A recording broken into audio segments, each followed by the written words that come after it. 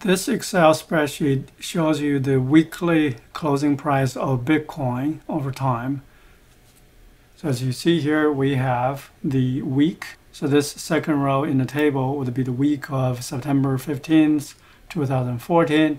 And the next is the closing price of Bitcoin measured by US dollars. So one Bitcoin in this case is equal to about 399 US dollars.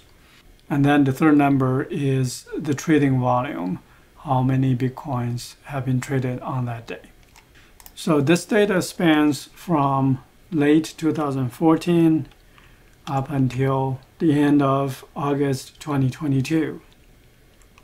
And to create the chart, we're going to go to Insert, select the lower right corner here, and select All Charts. And here we want to create a combo chart. A combo chart in Excel allows us to put two types of charts together within one chart. We have closing price and volume. So we're going to use a line to demonstrate the closing price. So change this to line. And for volume and following convention, we're going to use a column to represent volume. And as you see here, this gives you a preview of the chart because the volume numbers are so much larger.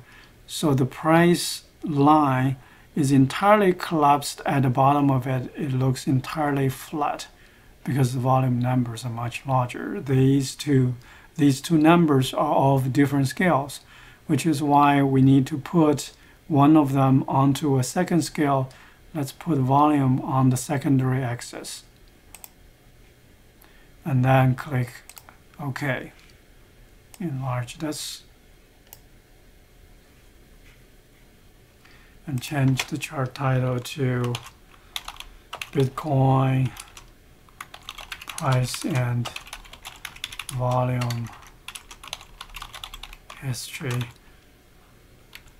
2014 to 2022.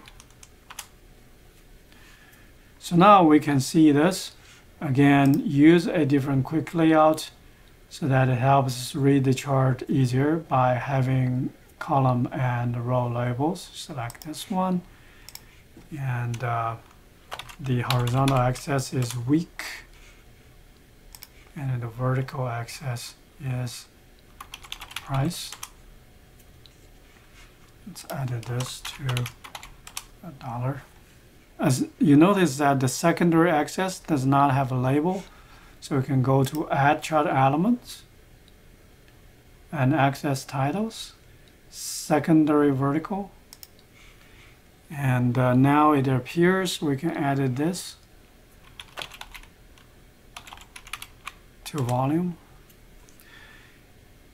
And you see here the volume numbers are huge and they are not easy to read. So you can change that by double clicking on the numbers of the secondary vertical axis. As you see here, we can change the display units. Right now, none means it will display the actual numbers. So we can change this to hundreds, thousands, millions, etc. Now, let's change this to millions. Numbers are still very big, so let's change this to billions. Now it's much better. So you can see that the trading volumes at the peak were happening at a scale of almost 800 billion bitcoins per day.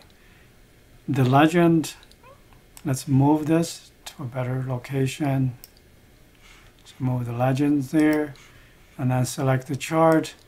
We can move the charts to make it bigger. So now we have a combo chart that shows a Bitcoin trading history with price and volume together. That concludes this video.